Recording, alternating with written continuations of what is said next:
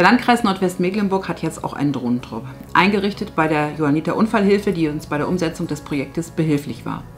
Wir halten dieses zusätzliche Angebot für sehr, sehr wichtig. Bei Schadensereignissen können wir jetzt auch zusätzlich Aufklärung aus der Luft betreiben und das ist ein ganz wichtiger Beitrag auch zu Ihrer Sicherheit.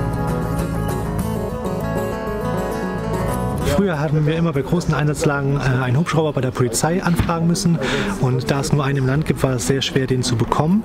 Jetzt haben wir ähm, die tolle Neuigkeit, dass wir eine Drohne hier haben, die wir dann niedrigschwelliger, sprich öfters und schneller zum Einsatz bringen können, um dann die Informationen zu haben, die wir brauchen, um gute Entscheidungen zu treffen für die Menschen hier.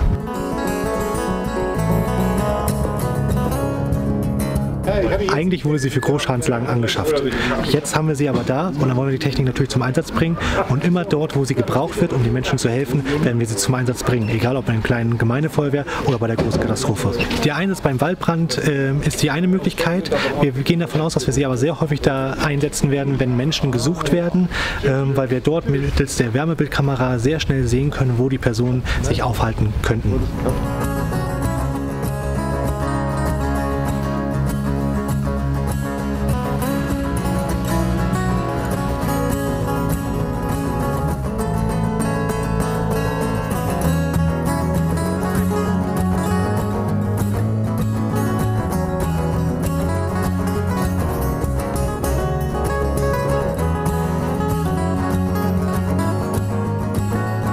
gab schon vier, insgesamt vier Einsätze.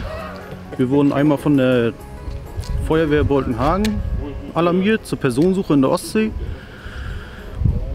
Der letzte Einsatz ist letzte Nacht gewesen. Da wurden wir von der Polizei angefordert.